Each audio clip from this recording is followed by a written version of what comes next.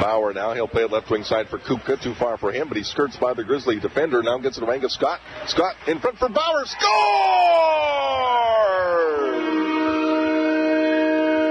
Mackenzie Bauer continues his torrent offensive pace with a nifty pass from Angus Scott. And now a break the other way. Here's Smith. Smith coming in on Gora. Goes to the forehand and scores.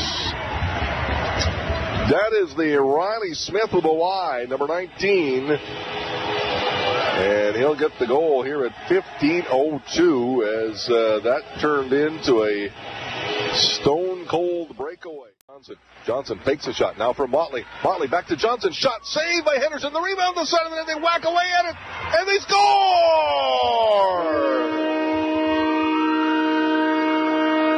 That looks to be Estienne Coetzee who gets the goal.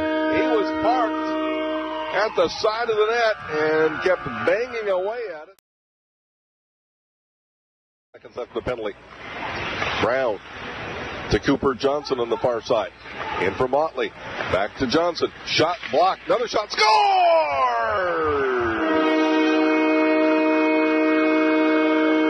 Second effort for Cooper Johnson.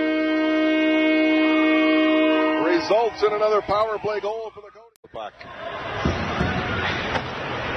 Around the boards, Greenwood comes up with it. Can't get by McCool. Here's Jack McCool. A pass across. Shot. Scores!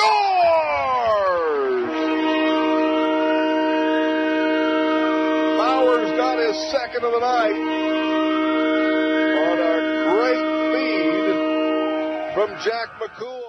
He falls, gets back up, and shoots it ahead to Cooper Johnson. Johnson to Coetzee to Motley. Motley walks in. He shoots. He scores!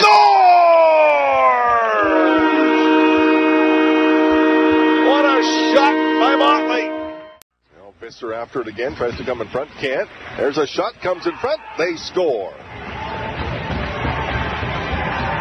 Now that puck just laid in the crease. And, and now McCool has it. Lost it. Grizzlies with the puck. Pass across. They score. It's Chase Olson on the giveaway deep inside Camrose territory.